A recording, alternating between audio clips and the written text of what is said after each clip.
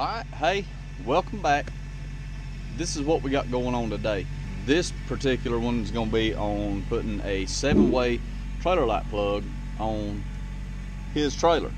His trailer came with a six-way plug on it whenever he bought it used. Um, this was for a long time what everybody used. Whenever I started out in the trailer industry, yes, that was my first real job was uh, building all kind of trailers. That was what we put on them. Not the case anymore. So we'll go ahead and jump right into this thing.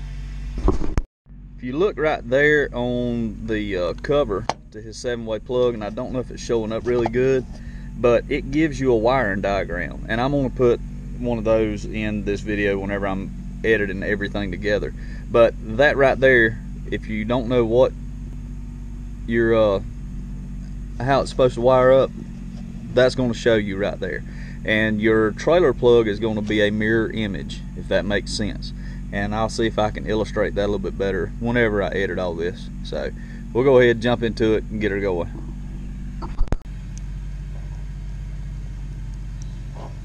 Careful not to strip the insulation on your two wires in there. And this particular two wire conductor is going to have a black and a white.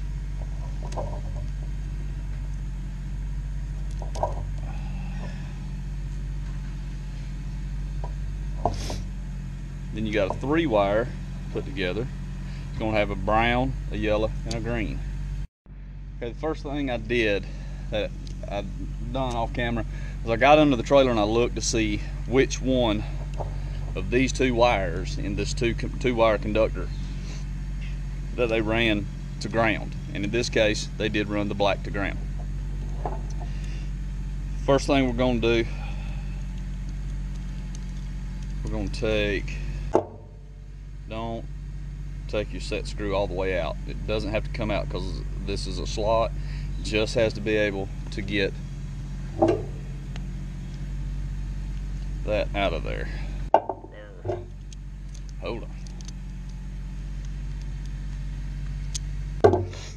This particular one has got this little LED bulb that was in here to show you whenever it's energized. No biggie. That's just the only one they had left on the shelf at Tractor Supply whenever I went through there go ahead. Slip the body of your plug on there. Do that first because if you don't you get everything wired up then you can't get that on. All right. Start with a two wire conductor like I said.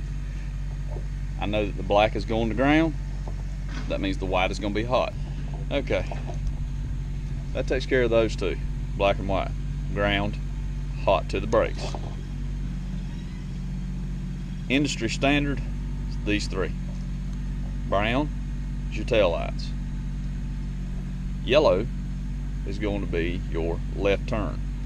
Think about being on the road. Yellow line, left side. Yellow line is on your left side. The green grass in the ditch is on your right. So the green wire is going to be the uh, blinker for your right side. Green grass in the road ditch, right side. Yellow, yellow line on the road. There you go. That's how I remember it. That's how it was taught to me whenever I was a teenager doing this. And note that uh, your turn signal wires are also your brake lights. They double. So if this was, these are typically, or a lot of times they're referred to as an RV plug. RV trailer is going to have reverse lights, BU, backup, and then it'll also have auxiliary to charge batteries, things like that. So we're going to make our connections.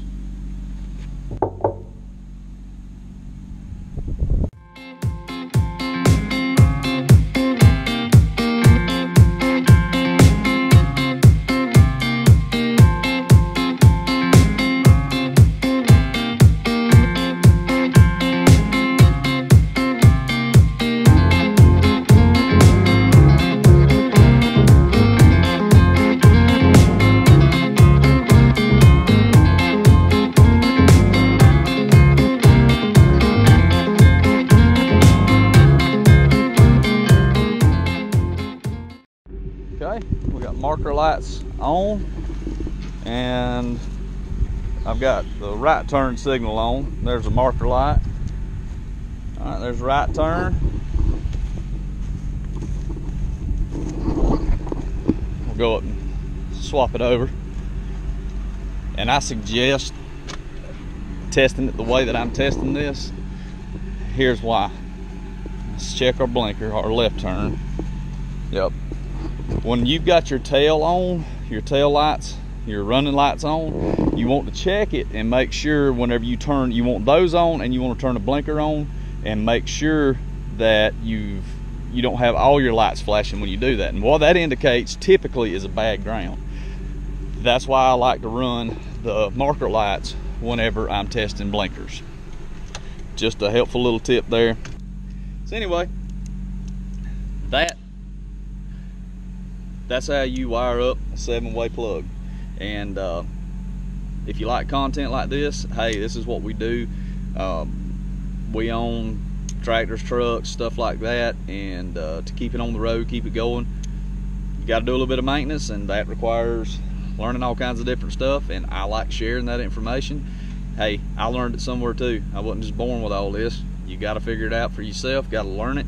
YouTube is an excellent, excellent tool. It is a I just, I, I'm telling you, if YouTube would have been around when I was a teenager and just learning how to do all this, I'd have had a lot less bumps and bruises along the way.